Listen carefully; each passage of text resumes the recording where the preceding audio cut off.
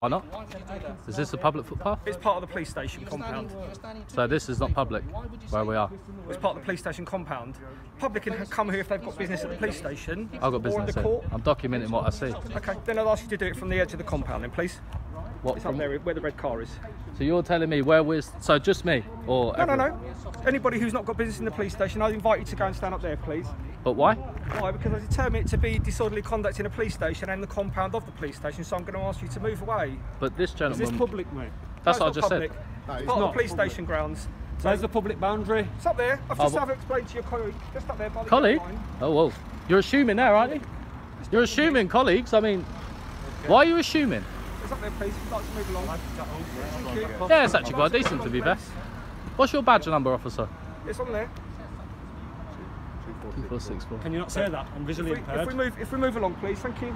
Ah, he's getting a bit edgy. Uh, You're hungry. we- can come back.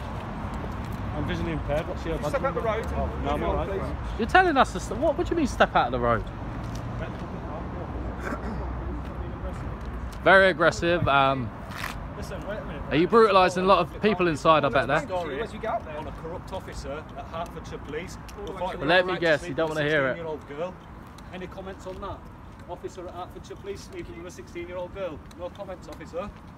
Yeah, we find it totally unacceptable and disgusting that a police officer at Hertfordshire Police can go as far to sleeping with a 16 year old girl and also disgrace. the frigging sergeant there gets into trouble for sleeping with a victim. What's going on?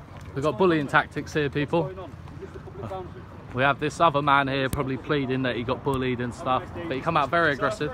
Get your hands off me. Dismissed. That's a bit too close, officer. Come on. Have a nice day, What I'm going to ask you, I'm going to say two things to you. If you this- come back onto the onto the police boundary, any members of public, then you'll be arrested for disorderly conduct in a If you police station. brutalise any members of If you obstruct the traffic, you'll be arrested for obstructing the If you sleep with any little cadets or if you brutalise anybody, You can't just ignore the problem, officer, you know? make sure that you stay in line, mate. Worst police.